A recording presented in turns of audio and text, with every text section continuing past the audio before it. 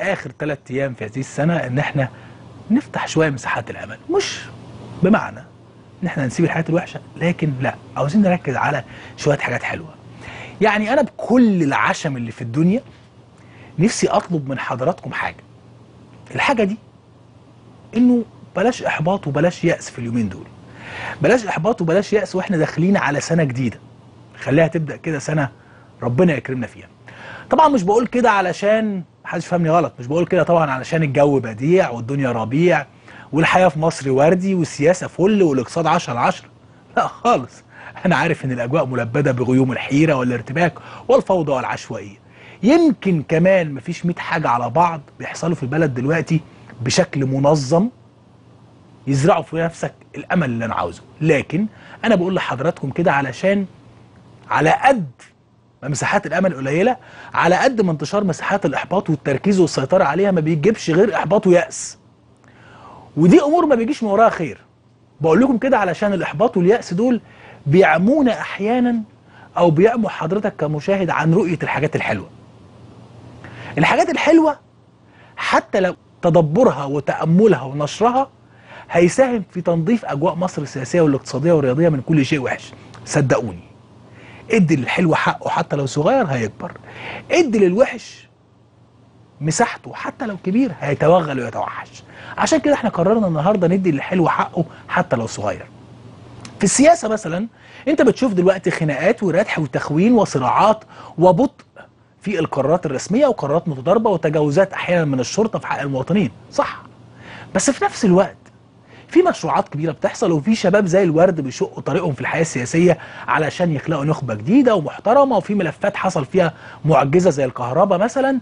والأهم من كل ده في عملية حرق أو بمعنى صح عملية حرق بنار إلهية بتولع دلوقتي في المنافقين والمتلونين والمطبلاتيه بتكشفهم وتعريهم قدام الكل.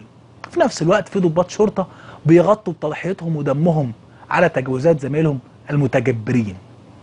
فبلاش يأس علشان تقدر تدي للناس الحلوة دول حقهم عشان تخليهم نموذج الكل يبقى زيه في الاقتصاد في أزمات وفي قرارات متضاربة وفي إدارة مش مفهومة لبعض الملفات وفي رجال أعمال بيلعبوا لمصالحهم وبس. بس في نفس الوقت في انتعاشة في قطاعات كانت ميتة وفي أحلام مرتبطة بمشروعات جديدة وفي مجال مفتوح لرجال أعمال وكيانات اقتصادية جديدة شابة. وفي رجال أعمال لأول مرة سواء مضطرين سواء حابين سواء حد زيهم بيخرجوا من شرنقة البنكنوت والأرباح وبيشتبكوا مع الواقع الاجتماعي سواء بتبرعات ومساهمات في مشروعات خيرية وتنموية. فبلاش برضو قبل السنة الجديدة يبقى في يأس علشان اليأس هيعميك تشوف الناس دول وتشجعهم وتديهم مساحتهم وتخليهم النموذج. نركز أكتر مع الناس الحلوة عشان نخليهم نماذج نزيح بيها الوحش. في الرياضة كمان صحيح. في شتامين وفي مبتزين بيتصدروا المشهد وفي عشوائية في اتحاد الكورة وفشل وفي تجاهل مستمر للرياضات التانية الفردية اللي بتحقق نجاح وفي وزارة للشباب والرياضة مش قادرة تسيطر على الأجواء الرياضية وفي إعلام رياضي وعي بعض الناس فيه اللي بتطلع تتكلم فيه لم يتجاوز ابدا وعي مرحلة طلبة الابتدائي ويمكن أقل. بس في نفس الوقت في أبطال بيحققوا إنجازات مهمة جدا في التايكوندو وفي السباحة والسكواش. وفي محترفين مصريين بلغة الكورة كده بيخلقوا صورة حلوة لمصر بره في أوروبا. فبلاش إحباطك من الشتامين ومبتزين الحكام والفاشلين في مجالس الإدارات. يعمى عينك عن رؤية الناس الحلوة دي وتقديمها كنموذج مش عاوزين غيره. في الإعلام برضو في ناس بتوع جهل ناس بتوع عفاريت وجن وشواذ وفضائح في وصلات ردح وتوليع خناقات. وكل ده بيحصل عشان شوية شهرة ولايقات ومشاهدات وإثبات ذات لصالح أصحاب المصالح. بس في نفس الوقت في ناس بتشق وبتحفر طرق وأشكال وأشكال جديدة للإعلام. إعلام قايم على نشر الوعي والسعادة واستعاده روح مصر بكل احترام وأدب. والأمثلة كتير جدا من أول صاحبة السعادة للأستاذ نجوى إبراهيم لعدد كبير جدا لزميلنا أحمد فايق لناس كتير جدا بتقدم نماذج محترمة. فبلاش تخلي يأسك من الردحين في الإعلام يعميك عن الناس اللي بيحفروا قنوات وصل إعلامية جديدة وشجعهم بأملك فيهم يمكن يكونوا هم النموذج اللي يقود فيما بعد ذلك قاطرة الإعلام.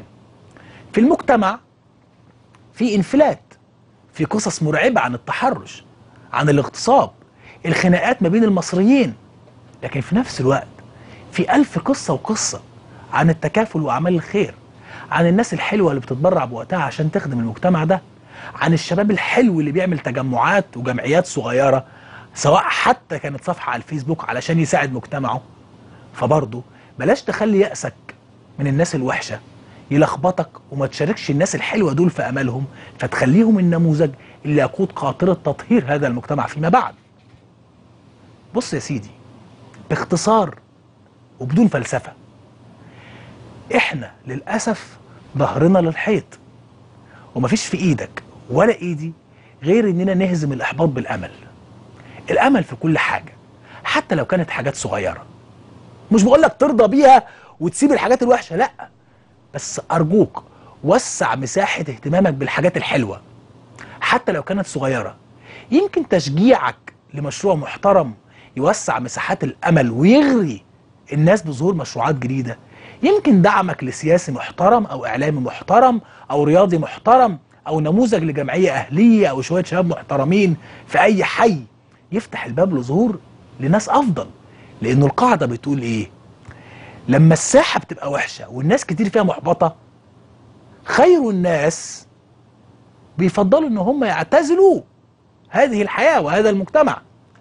فعشان خاطري عشان خاطري رجاء شخصي لا يا سيدي روح طبطب على النماذج الكويسة وزقها وقف في ظهرها يمكن يمكن أخيار الناس اللي قاعدين في البيوت معتزلين وخايفين إن هم يشتبكوا مع هذا الواقع المرير يحصل لهم نوع من أنواع التشجيع إن في ناس زيهم حلوين موجودين في الساحة فيطلعوا يظهروا على النور. الإحباط بيخلي كل تركيزك مع الوحش فبيحصل إيه؟ بيشتهر هذا الوحش ويكبر.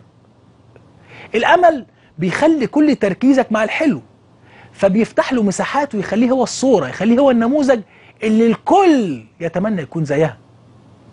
سيدنا عمر بن الخطاب قالها من سنين كتير قوي. قال نفس الكلام اللي فوق ده وهو بينصح المسلمين. في كلمة صغيرة بيقول لهم أميتوا الباطل بهجره. يعني ضيقوا على الوحش مساحات الدنيا علشان ندي للحلو فرصة للظهور. الفاروق سيدنا عمر بن الخطاب رضي الله عنه قال إن لله عبادا يميتون الباطل بهجره ويحيون الحق بذكره. فأحيوا الأمل حضرتك احيي الأمل بذكر النماذج الحلوة. افتح لها مساحات حلوة. وزي يا أخي ما بتقعد تركز في مناقشة ردح فلان وتشيير شتيمة فلان لفلان. ركز كمان في تشيير ونشر نجاح فلان واحترام فلان لنفسه. وهقول لك نموذجين. الأول يخص النائب توفيق عكاشة. بلاش تشغلوا الدنيا بتوفيق عكاشة. وكأن مصر كلها واقفة عند النائب اللي مقتنع بأن هو نبي ومفجر الثورة والإعلانات فيها ألغاز وشفرات والماسونية العلمانية مستخبية تحت عقب الباب. ركز يا أخي في أنك تعرف الفرق. أنك ما تخليش واحد زي الراجل ده يعمل الشو عشان أنت تشيره وتنشره فبالتالي تشهره وتديله مساحة من مساحات الأمل ياخدها لمساحات الإحباط واليأس والجهل وقلة الوعي. ما تخليش ناس زي دول نماذج زي دي تعمل لك إحباط بسبب وجودهم العبثي في الحياة السياسية بشوية الإفيهات والتنطيط اللي بيعملوها. يعني ليه تبقى محبط وعندك ارتباك من توفيق عكاشة اللي بيقدم نفسه دلوقتي كمعارض صنديد في الحياة والكلام المتناقض اللي عمال بيقوله دلوقتي؟ رغم إن سهلة جدا سهلة جدا. أقول لك إن كل ده إن واحد زي النائب توفيق عكاشة كان عاوز حتة من التورتة. ولما لقى إن نصيبه قليل وإن إمكانياته توقفه عند حتة معينة قرر يهد المعبد ويلوش ويخون ويضرب في عمق البلد بدون دليل زي لما كان برضه بيلوش ويخون سياسيين وشباب محسوبين على الثورة لمجرد إن هم ضد مصالحه. فالأول كان بيخون بتوع 25 يناير لأنهم ضد مصالحه ومصالح وجوده ودلوقتي عنده استعداد يخون الدولة ذاتها لأنها عاملة له سقف. سقف لمصالحه يعني. يا أخي لازم تعرف إنه زي لما في مصر في في مصر زي لما في في مصر ناس زي توفيق عكاش عندها استعداد تهد مصر كلها لو مصالحها ما اتحققتش. في ناس غيره بتقدم ولادها ضحية عشان خاطر البلد تعيش بدون ما تاخد أي مصلحة.